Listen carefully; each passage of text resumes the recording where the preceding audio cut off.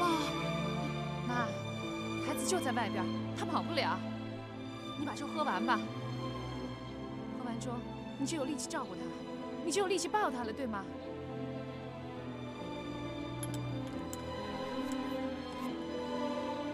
妈，你慢点啊。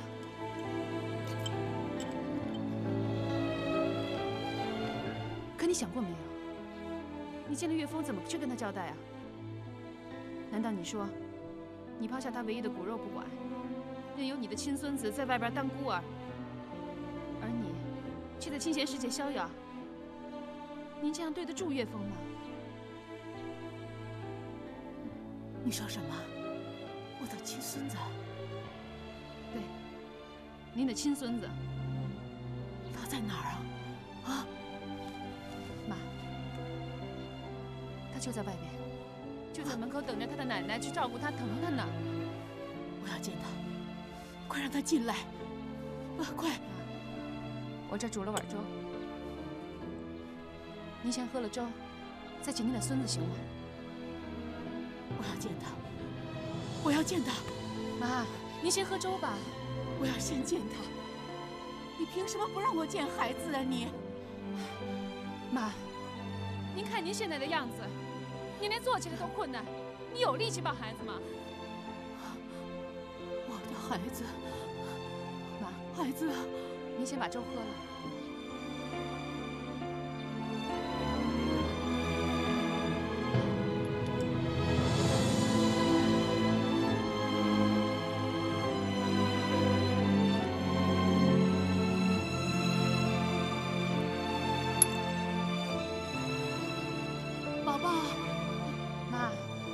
就在外边，他跑不了。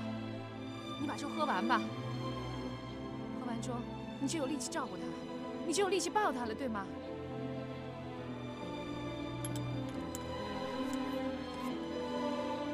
妈，你慢点啊。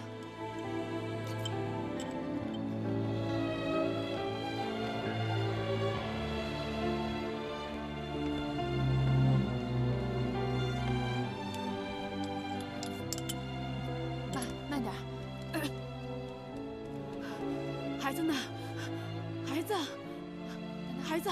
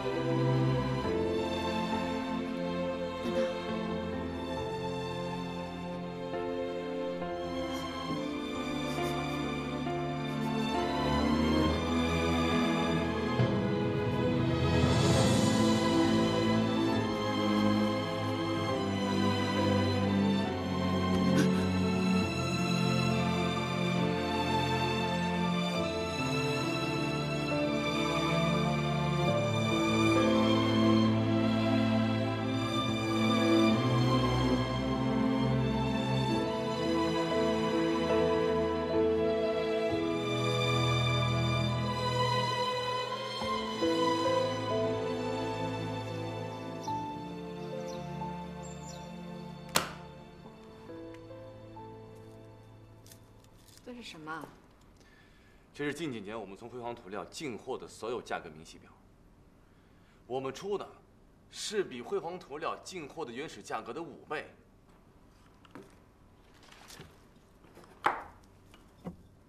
你知道，我从来不过问你公司的业务，有什么事儿去找你厉叔叔商量。妈，那个辉煌涂料背后的指使人就是厉鲲鹏啊。是吗？他有间自己的公司，你好像一点都不吃惊啊。也没什么好吃惊的，你厉叔叔辛苦了这么多年，有家自己的公司，也很正常。您是真不明白还是假不明白呀？这是他用来套咱们资金的一个工具，他找了一个亲戚，立成法人，他自己在背后操纵，他提高了我们公司的成本，所有的差价都进了他自个儿的腰包。他这么多年一直都这么干他是咱们公司的一个蛀虫。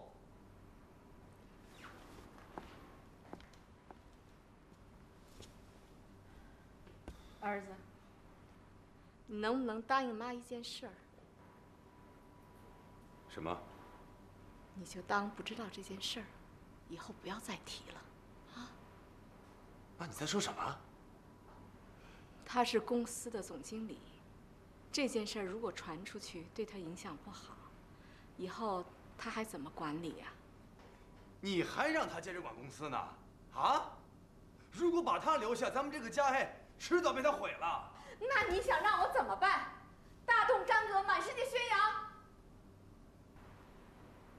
他是我丈夫，你是不是之前就知道这些事儿了？不知道。我不信。你今天非常不正常，你知道吗？任何一个有头脑的人知道他的所作所为，都不是这样的反应啊！我不想有头脑，我只想要我的生活，我只想要个家。儿子，你为什么不替我想想？你一走就是五年，这些年要不是有鲲鹏，这个家根本就不是家。他一直陪着我，照顾我，难道就因为这点钱，把他所有的付出都一笔勾销吗？可是他的付出是有目的的，妈。我不想听。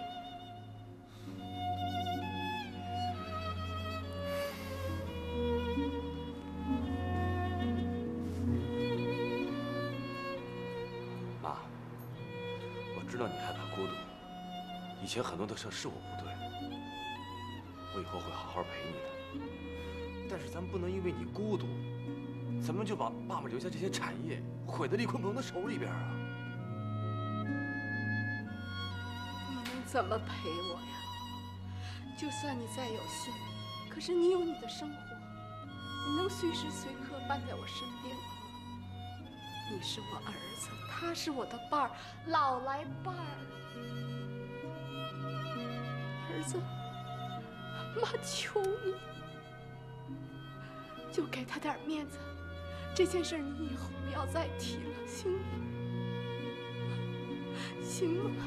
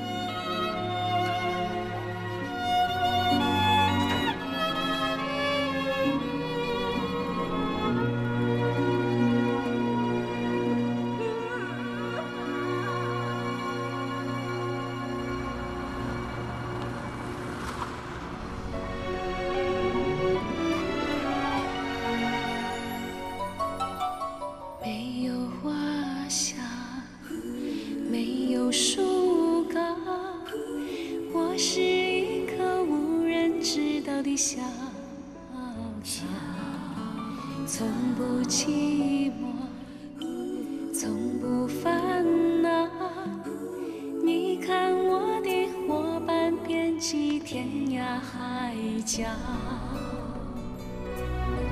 春风啊，春风，你把我吹绿；阳光啊，阳光，你把我照耀。河流啊，山川在哪儿啊？的哺育还在新阳吗？我回家了有事吗把我紧紧拥没什么事儿，就是想问问你，后来决定怎么样了？把麻烦带回来了？什么麻烦那孩子，啊？带回来了。行吧，那你就继续麻烦吧。你怎么了？怎么听起来怪怪的？我没事儿，我只是突然之间觉得没意思，突然之间觉得只有我自己一个人在拼命在努力。对于我来说很重要的事情，其实对别人来说根本就是无关紧要的。到底什么事儿啊？是不是你前几天跟我说的那件生死攸关的大事儿？那件事儿现在来说，已经不是什么生死攸关的事情了。不不说了，没事了啊，就这样吧，你接着麻烦吧。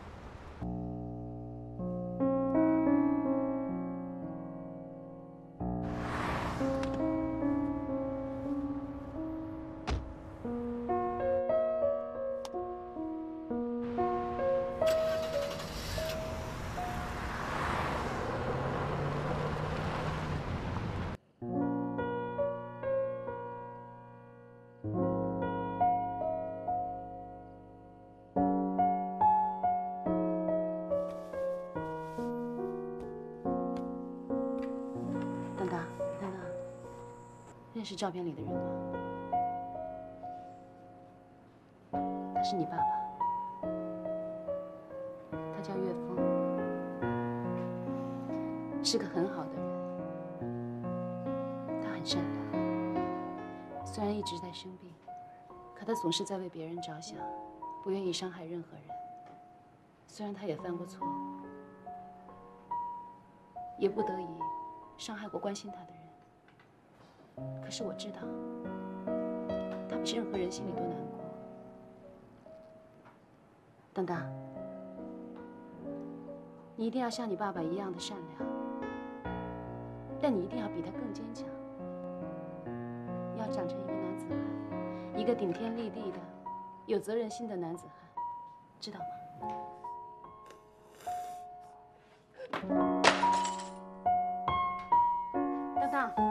干嘛呢？啊？当当，你怎么了？你不喜欢看到爸爸吗？啊？什么声啊？哎呦，这宝宝怎么了？怎么回事啊？没事。当当，饿了吧？奶奶呀煮了醪糟，咱们吃饱了美美的睡一觉啊！走，走了啊！嫂子到底怎么了？其实我已经受到惩罚了。当当把岳峰的照片给摔碎了，自从给夏兰做了手术以后，把照片摔碎了。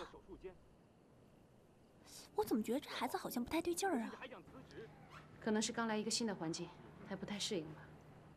你说他不爱说话也就罢了，怎么还摔我哥照片呢？跟我哥是有仇是怎么着？也许是他妈妈对岳峰的恨太深，影响到孩子了吧？疯子！别这么说。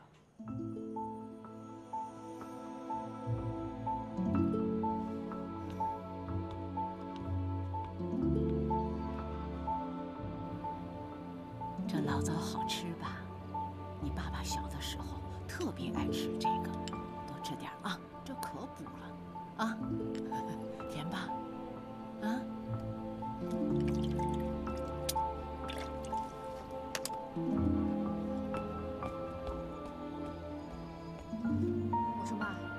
您身子还这么弱，就不应该下床干活。疼孩子不是一天两天的事儿，等您身体好了再给他做也来得及啊。我早就说过，你别叫我妈，我怎么疼孙子不用你管。行，我知道了，以后啊我就叫你老太太，行了吧？等等，吃完了没有啊？阿姨把早水弄好了啊，吃完了赶紧洗澡。坐了这么长时间车啊，身上都有味儿了。哎哎，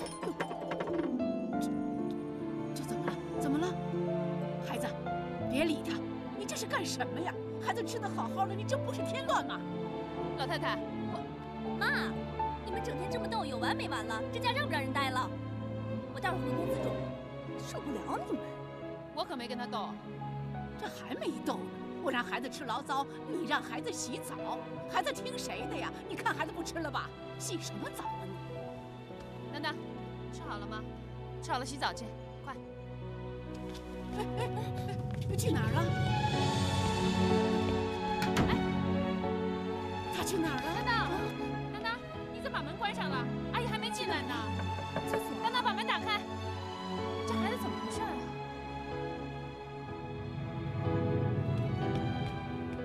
他没事吧？我看看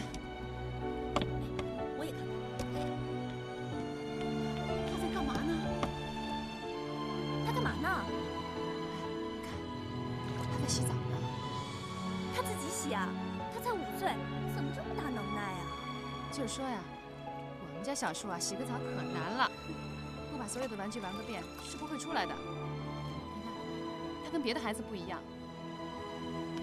妈，没事儿，自个儿洗澡呢。这也太能了吧，自己就能洗澡啊！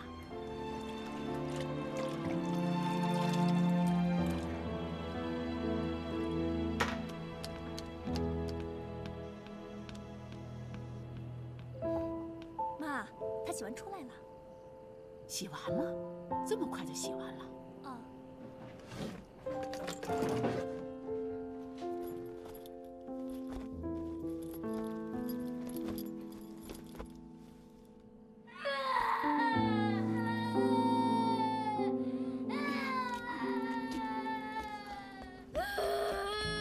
等等，你怎么了？他这是找什么呢？你在找什么呢？啊，我知道了。丹丹，你看，是不是在找这个？啊？刚才阿姨收拾东西的时候啊，给放在那个抽屉里了。以后你要找呢，就上那个抽屉里去找，知道了吗？你找什么呢？是不是插头啊？插头在那边，来，阿姨帮你去插。什么这儿的那儿的？你在干什么呢？丹丹啊，一直在找他的小夜灯。这孩子可能习惯了，不插上小夜灯不会睡觉的。那赶紧插上啊！那你别闹了啊，听话。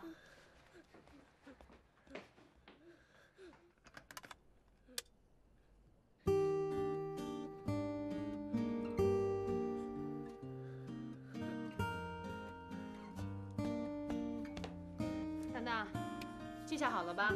啊，行了，别哭了，乖乖的睡觉啊。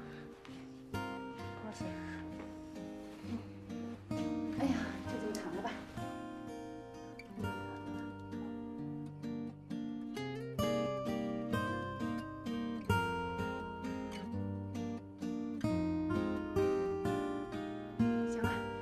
你也去睡吧。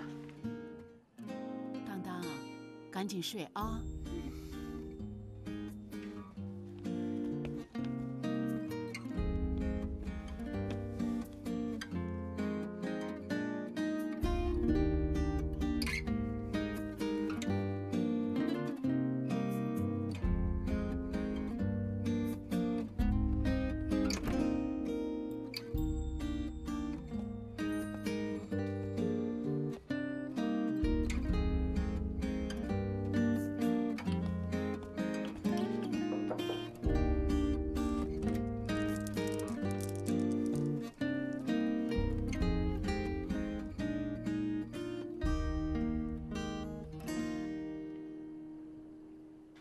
老太太，我知道你还没睡呢。难道你不想跟我好好谈谈吗？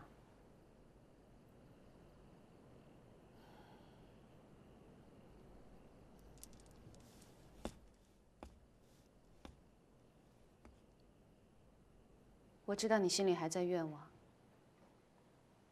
不管我做什么，怎么解释，还是消不了你的恨。现在我把你孙子领回来，你愿意为他好好活着，我就放心了。如果你想赶我走的话，我就走。大门敞着呢。你这老太太怎么这么倔呀？我走了，谁照顾当当啊？你眼睛又看不见，你能照顾他吗？再说这孩子不爱说话，要是他头疼脑热的，你能知道吗？万一他磕着碰着，你就不心疼吗？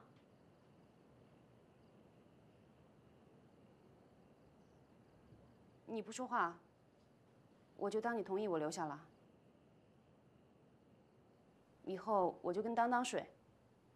没什么事儿，我不会来烦你的。